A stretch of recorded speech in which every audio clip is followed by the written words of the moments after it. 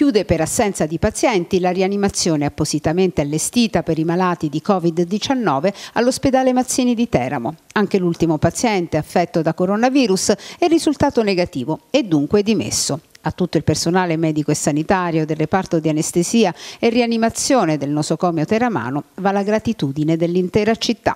Dopo aver lavorato per settimane lontani dai propri cari e sostenendo turni di lavoro estenuanti, i rianimatori del Mazzini tirano un sospiro di sollievo, ma non abbassano la guardia. Il direttore del Dipartimento di Anestesia e Rianimazione, Stefano Minora, ripercorre i mesi appena trascorsi. Qui da noi per fortuna dico, siamo riusciti a chiudere con l'ultimo paziente che si è negativizzato nei giorni scorsi.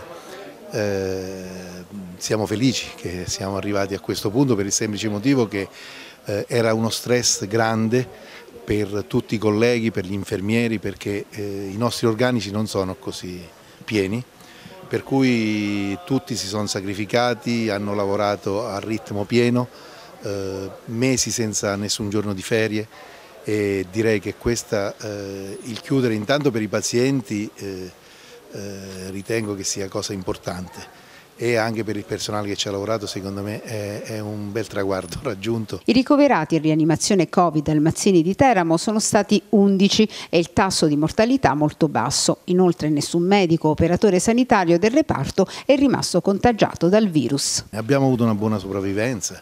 Eh, direi che c'è stato un ottimo risultato, abbiamo avuto una sopravvivenza oltre il 60%.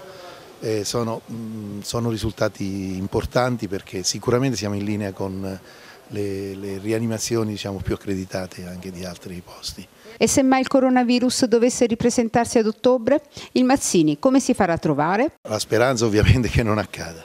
Se dovesse accadere abbiamo intanto quei posti lì che sono presenti al terzo lotto rimarranno e poi ci stiamo organizzando con due posti all'interno della rianimazione generale con tutte le caratteristiche di pressione negativa, di isolamento, di uscita a parte eccetera eh, per eventualmente se necessario accogliere uno o due pazienti. Se poi, e la speranza di tutti è quella che non accada, dovessero aumentare i numeri, eh, abbiamo a disposizione ancora per un bel periodo eh, i, i, posti che sono stati allestiti nella ex psichiatria per intenderci. Dottor Minora, che insegnamento ci lascia questa pandemia?